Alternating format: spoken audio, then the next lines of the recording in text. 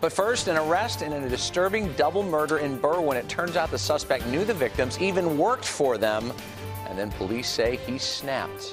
Good evening. I'm Rob Johnson. Erica's off tonight. Police just released details late this afternoon about who killed a beloved elderly couple. CBS 2's Audrina Bigos live outside the Berwyn Police Department for us this evening. Audrina? Good evening, Rob. Police say not only did this suspect confess to the killings, but he told them it was an accident and he lost control.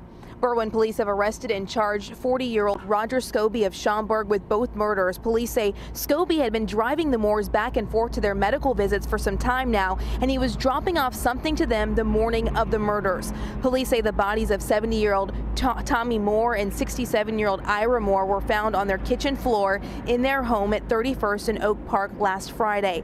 Both had been shot in the head. Tommy was also stabbed multiple times. A neighbor saw something suspicious and called police that morning. Now investigators say fingerprints helped lead them to Scoby. Detectives say they found two guns at the home of the suspect that belonged to the victims.